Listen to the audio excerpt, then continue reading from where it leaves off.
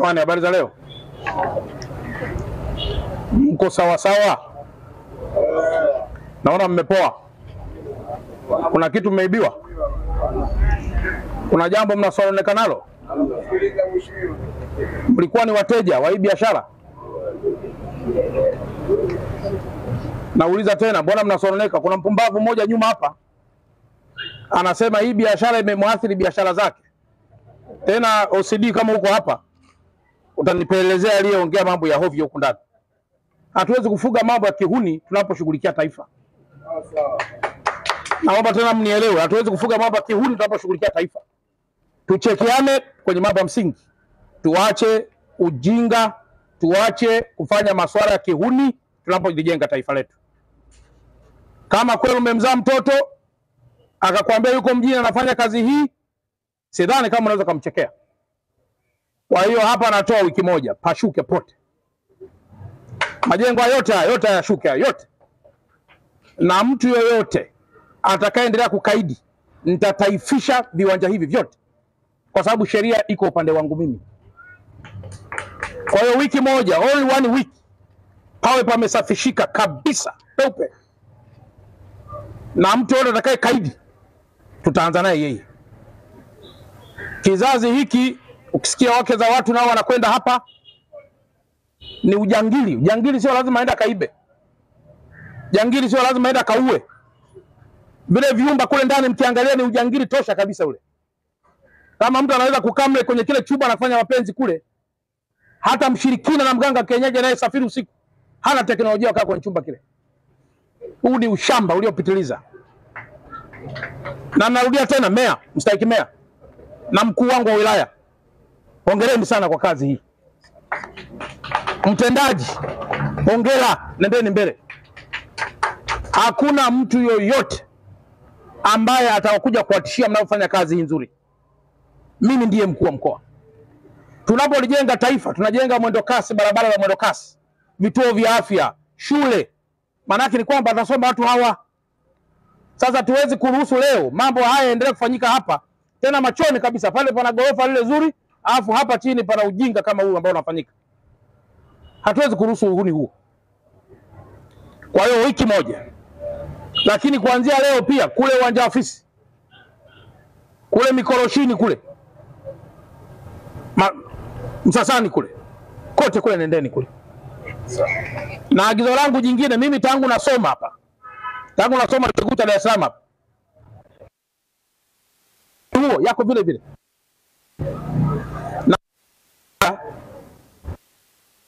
baadhi ya mabaa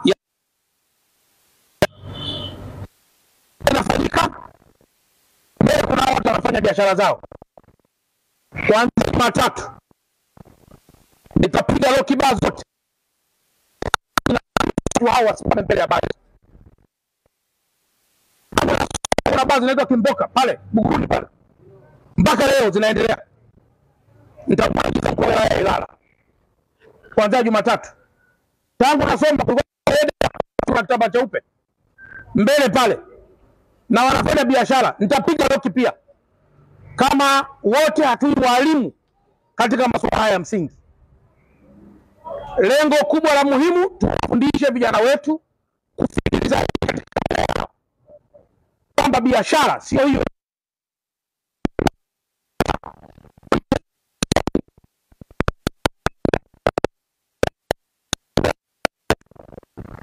Mheshimiwa mkuu wa wilaya,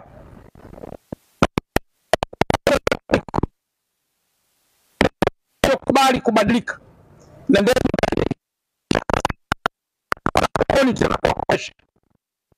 kuizoea mifumo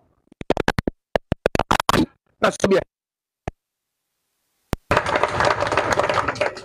Nasema hivi kwa sababu inawezekana labda walikuwa wanasema hatuna cha kupata, lakini kuzanguni zanguni, mwanadamu shida ni sehemu ya maisha ya mwanadamu, na unapopata shida usijivue nguo kabisa katika kuitatua shida yako. Inawezekana mwingine akakwambia jambo bwana haliwezekani kabisa kwa mujibu wa tamaduni zetu. Shida zipo, lakini angalieni njia mnayoitumia kutatua shida hiyo isikudhalilishe. Jamani, mnanielewa vizuri? Mnanielewa ndugu zangu? Isikudhalilishe. Leo unaweza ukachekea ili dangulo hapa, sawa, unafaidika nalo, lakini kesho mtoto wako wa kumzaa wa kiume na wa kike wataingia hapa, wa kiume atawitiwa, wa kike ataendelea mambo yake mengine. Mzazi utaingia kwenye kumi na nane ya kuzeeka kwako, hauna familia inayokujali, wote wamekuja kuharibikia hapa. Kwa hiyo tendo lolote unalolifanya leo lina matokeo yake kesho, na matokeo hayo yanaweza kuwa upande wako ama upande wa jirani yako. Kwa hiyo leo hii inawezekana kuna mtu ambaye hapa anauza chakula na yeye inawezekana ametoka huko kuja kuuza chakula hapa, na inawezekana leo hii hatauza tena chakula hiki. Tunamruhusu atafute eneo analodhani litakuwa na wateja ili kwenda kuuza chakula hicho, kuliko kukaa hapa na kuendelea kuuzia watu ambao biashara yao si halali. Sambamba na hilo, nilitoa agizo baadhi ya masaluni leo, na kuna maeneo mengine tunaita sehemu za massage. Wiki mbili zilizopita, kuna bwana mmoja alifia kwenye chumba cha massage na amefia kule ndani, hatuelewi kazi ambayo amefanyiwa kule ndani. Inawezekana ni massage kweli. Ndugu zangu, nisikilizeni kwanza, massage leo ukifungua pharmacy unatakiwa kuwa na cheti cha mfamasia ambaye atakusaidia kuliongoza duka hilo la dawa. Ukifungua hizo massage, unapaswa pia kuwa na cheti cha mtaalamu ambacho ni physiotherapy therapist, ambaye yeye cheti kile kitakusaidia na kuongoza katika mishipa ya mwanadamu, wapi ushike, wapi usishike. Lakini leo kila mtu akiangalia kwenye ka YouTube anajiita mtu wa massage akiingia kwenye YouTube anajiita mtu wa massage. Nimeshaagiza kwa kuwa wilaya wote kwamba mabiashara haya na yenyewe muyaangalie vizuri, kwa sababu nayo yanashiriki katika kuporomosha maadili na uzalendo wetu kama Watanzania. Hatusemi masaji sio nzuri, kwa sababu ni sehemu, ni recommended, ni tiba kabisa, lakini anaifanya nani? Anaifanyia wapi? Kwa mikakati gani? Hilo nalo ndio la msingi hilo la kwenda kuliangalia vizuri. Hapa Dar es Salaam tuna biashara nyingi sana leo, nyingi sana, lakini kwa nini tuende kufanye biashara ambazo zipo kinyume na utashi wetu? Leo kuna vijana wa bodaboda hawa, kuendesha bodaboda sio raha. Vijana wa bodaboda mko hapa?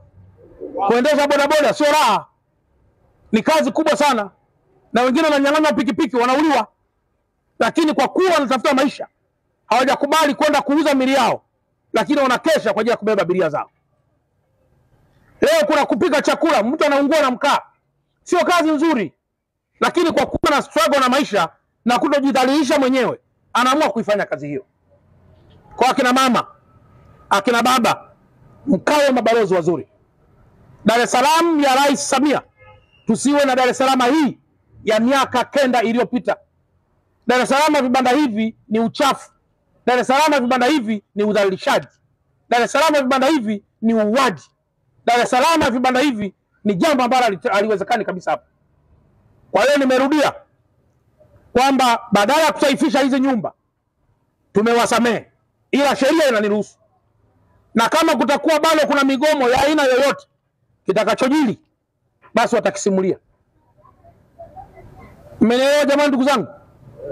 Mpo hapa kati yenu mmeripoti mambo haya, na wapo wengine walikuwa ni wafaidika. Akipata kama mia tano anakimbia hapo, akipata mia mbili anakimbia hapo, akipata elfu moja anakimbia hapo. Sasa acheni tabia hiyo, acheni tabia hiyo, na acheni vitu vya rahisi rahisi. Ukimpenda mwanamke jipange, uwe na noti mfukoni. Na wewe mwanamke pia, ukimtaka mwanaume au ukitaka kuolewa vizuri, sio lazima uolewe, jiweke vizuri. Sio kila mahali ukiambiwa huyu anajiuza atakufuata kila mtu. Kuna sehemu zingine nakuwa umejidhalilisha sana. Sasa kuna sehemu pia tumeambiwa,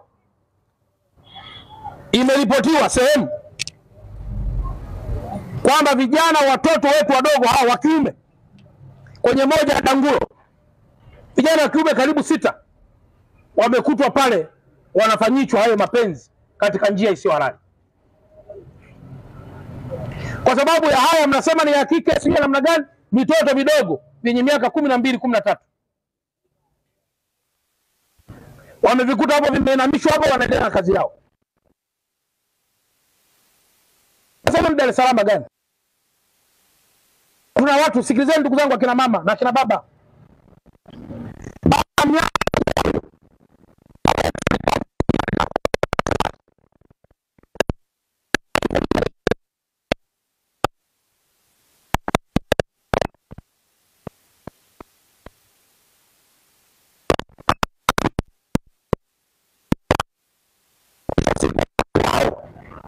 Tanzania tena.